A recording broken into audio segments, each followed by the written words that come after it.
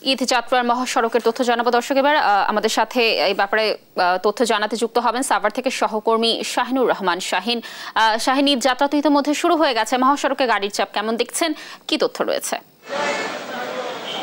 লাবণী আপনাকে ধন্যবাদ। আমি কিন্তু এই মুহূর্তে আছি গাজীপুরের সবচেয়ে ব্যস্ততম এলাকা, যে চন্দ্রামুড়ে আপনাকে যদি জানিয়ে রাখি যে সকাল থেকে কিন্তু এই এলাকায় যাত্রী এবং বাসের চাপ কিন্তু বেড়েই চলেছে, এমনটি কিন্তু আমরা দেখতে পাচ্ছি। এখনও তার ব্যতিক্রম নয়। আমরা কিন্তু সকাল থেকে কিন্তু একইভাবে গাড়ি কিন্তু থেমে থেমে চলছে, এমনটি কিন্তু দেখতে পাচ্ছি।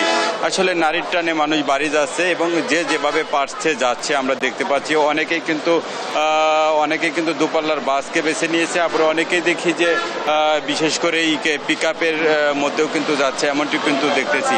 আবার অনেকেই কিন্তু আমরা দেখেছি যে, খোলা ছাদের মধ্যেও কিন্তু যাচ্ছে, এমনটিও কিন্তু আমরা দেখতে দেখতে পেরেছি। সেই সাথে আপনাদেরকে জানিয়ে রাখি যে যাত্রীর তুলনায় কিন্তু গাড়ির পরিমাণ এখন বেশি দেখা যাচ্ছে।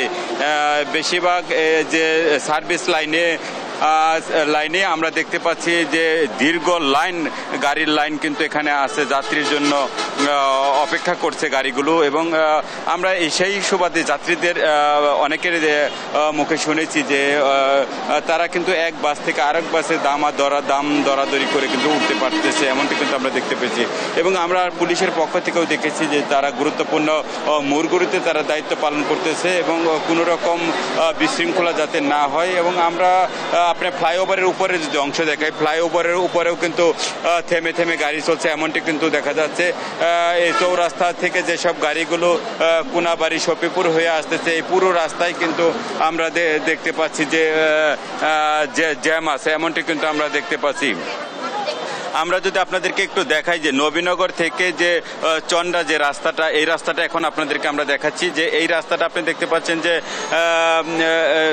যাত্রীর জন্য অপেক্ষা করছে একটি লাইন এবং সরাসরি যে লাইনে আছে, এই লাইনেও কিন্তু এখনও জ্যাম রয়ে গেছে, এমনটি কিন্তু আমরা দেখতে পাচ্ছি। এবং সেই সাথে আমরা কিন্তু আজকে হাইও পুলিশের পক্ষ থেকে আমরা দেখেছি, তারা কিন্তু সাধারণ মানুষ যারা যাত্রী আছে, তাদেরকে কিন্তু পানি বিতরণ করতেছে সকাল থেকে, এমনটিও কিন্তু আমরা দেখেছি। এবং আপনি চন্ডা মোড়কে ঘিরে আপনি, আমরা যতটুকু শুনেছি যে এই এলাকায় অনেক কারখানায় যেগুলো আজকে এবং গতকালকে ছুটি হয়েছে, তারা কিন্তু এখানে যাচ্ছে যাচ্ছে। এবং সেই সাথে আমরা দেখতে পাই যে অন্য সব কারখানা যেগুলো আগামীকাল ছুটি হবে, অনেকেই তাদের আত্মীয় পরিজন কিন্তু আগে বাগে পাঠিয়ে দিচ্ছে, এমনটিও কিন্তু আমরা দেখেছি। এবং আমরা দেখেছি যে অনেকেই কিন্তু তারা কিন্তু মোটর সাইকেলে করেও কিন্তু তারা যাচ্ছে এমনটি কিন্তু দেখতে পাচ্ছি। আপনাকে যদি আমরা দেখাই যে ঢাকাবাহী, ঢাকামুখী যে লেনগুলো আছে, এই লেন লেনটা অনেক সময় অনেক ফাঁকা যাচ্ছে যার কারণে মানুষ কিন্তু অনেক স্বস্তিতে বাড়ি ফিরতে পারছে, এমনটি কিন্তু আমরা দেখতে পাচ্ছি। এবং চন্ডাতে চন্ডা এলাকায় যখন চন্ডা যে মুর এই এলাকাটা ছাড়ার পর পরে কিন্তু নির্বিঘ্নে মানুষ কিন্তু তার রাস্তায় কিন্তু চলে যেতে পারতেছে, এমনটি কিন্তু আমরা দেখতে পাচ্ছি। এবং সেই সাথে আপনাদেরকে জানিয়ে রাখি যে এখানে বিশেষ করে কোনো কোনো রকম যাতে বিশৃঙ্খলা না হয় এবং প্রত্যেকটা মুড়ে মুড়ে কিন্তু ট্রাফিক পুলিশ এবং জেলা পুলিশ এবং হাইও পুলিশ কিন্তু তাদের দায়িত্ব পালন করছে। এমনটি কিন্তু আমরা দেখতে পাচ্ছি। সব মিলিয়ে দেখা যায় যে মানুষ কিন্তু গত কয়েক বারের তুলনায় এইবার কিন্তু ঈদে কিন্তু অনেকটা স্বস্তিতে বাড়ি ফিরতে পারতেছে। লাবণী, এই ছিল গাজীপুরের চন্ডা এলাকা থেকে। ধন্যবাদ শাহিন, আমাদের সাথে যুক্ত থাকার জন্য। দর্শক, এই যাত্রা শুরু হয়ে গেছে। মহাসড়কে গাড়ির চাপ কেমন? এ ব্যাপারেই তথ্য জানাচ্ছিলেন আমাদের সহকর্মী।